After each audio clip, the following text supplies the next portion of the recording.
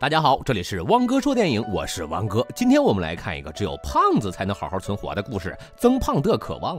故事一开始，一家三口正在草坪上沐浴着阳光，但瞬间世界大变，除了体重超长的父亲，所有东西都漂浮上了天空。妻子和儿子只能在他的牵引下才能停留。久而久之，儿子开始精疲力尽了。为了儿子，妻子放开了手，升上了天空。父亲从噩梦中惊醒，这是故事发生后的第二十个年头，儿子已经长大成人。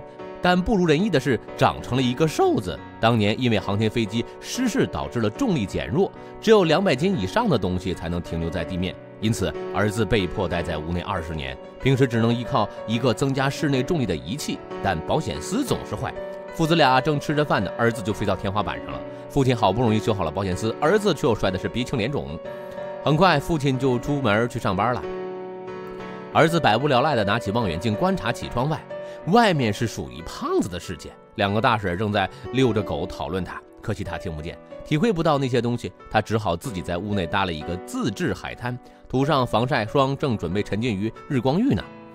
一声车响引起了他的注意，拿起望远镜一看，从车上下来一个胖嘟嘟的女孩，儿子对她是一见倾心呢，但自己瘦弱的身体却让他怯于露面，他多么希望自己是个胖子呀！第二天，爸爸走后，他就在家里拿着成人杂志，臆想着，满脑子都是胖女孩的模样。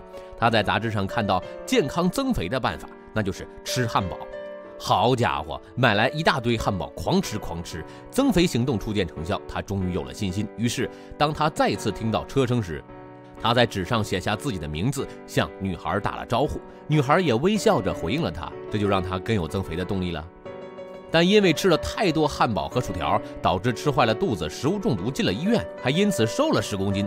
丧失信心的他不再敢和女孩交流了。但女孩一直在楼下盼他的回应呢。为了能成功出门，他将自己绑在了洗衣机上。谁知被回家的父亲撞破。父亲为了他的安全着想，一切可以被他搬动的重物都被锁进了小黑屋。父亲又开始做起了噩梦。这次的噩梦是儿子离开了他。父亲很害怕，但他很为儿子着想。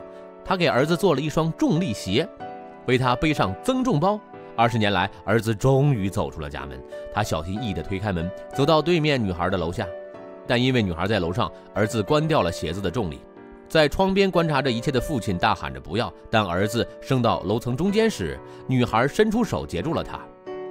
他们望着彼此，幸福地笑了。电影通过反常理的故事告诉我们，无论发生了什么，爱都是可以让人勇敢的。